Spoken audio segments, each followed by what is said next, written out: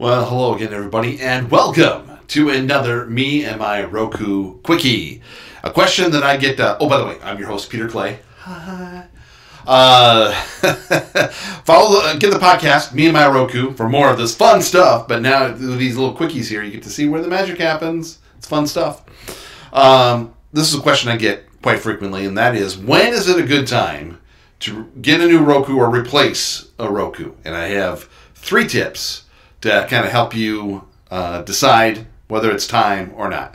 Uh, one is when Roku itself is telling you, or apps like Netflix are saying, yeah, we're no longer doing this anymore. You need a new device. That's tip number one. Tip number two is if you look at your remote and it has things like MGO or Blockbuster, things that are no longer in existence, it might be time to think about a new Roku. And three, when is a good time to get a new Roku? Uh, when they're on sale. and that can happen at any time. Mother's Day, 4th of July, Christmas, obviously, Black Friday, uh, any of those times. If you just feel like it's time to get a new one, it's time to get a new one. Now, when it comes time to replacing ones, I, I've had a Roku 3 uh, for almost a long time now. I I can't remember. That's how long it's been. Because uh, a lot of these things seems like they're longer than they're not. Because like I said, Disney Plus just started two years ago. Seems like uh, it's been here a while. But anyway, uh, I've only really replaced one Roku, and that was the Roku XD, the very first Roku I ever had. That's just it just couldn't do anymore. Got too slow. Then we had this guy here, the uh, Roku LT uh, which we needed for an older TV that had the red, yellow, and white, uh, you know, outputs, those three cords.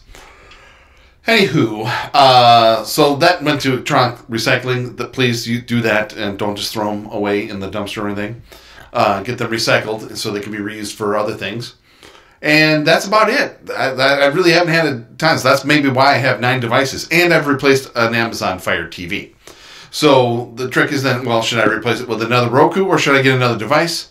That's up to you. In the me in my Roku here, that's why we're here. Um, I typically replace a Roku with a Roku, and then Amazon with Amazon. I get the other devices for the sake of the podcast, just to kind of compare and contrast. I prefer the Roku, but the other ones are fine. You can't go wrong. So if you see a deal on a Chromecast, but if you want that, then get it. It's fine. You might just be coming back to the Roku. Again, also then your TV then might have a smart device. They're all all smart TVs now. But after about a year or two, they start to slow down or they don't update or they don't get the app that you want. Get yourself a Roku that get, Roku Express is fine too. You don't have to go all out. But we have a really nice big Samsung TV. And it's beautiful. And the Tizen is fine but we prefer the Roku. We put Roku Ultra on it. Beautiful. It you know still uses all the beauty of the TV in it.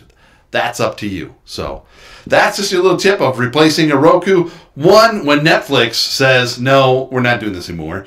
Two, uh, outdated uh, buttons on your remote. Three, when they're on sale. Or four, whenever you want. You do your Roku the way you do your Roku. And I hope you are enjoying you and your Roku as much as I'm enjoying me and my Roku. I'll be back with you real soon.